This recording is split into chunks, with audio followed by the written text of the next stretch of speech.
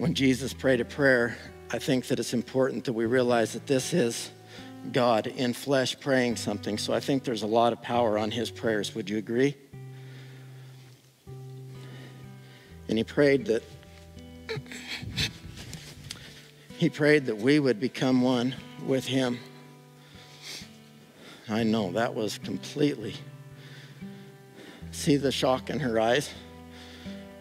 So it's because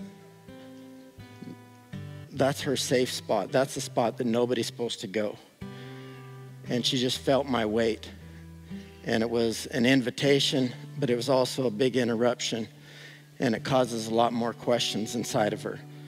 But it's okay because I understand that, like our Father understands that we have some hesitancy, some resistance to Him saying that, hey, I want you to yield your entire life to me.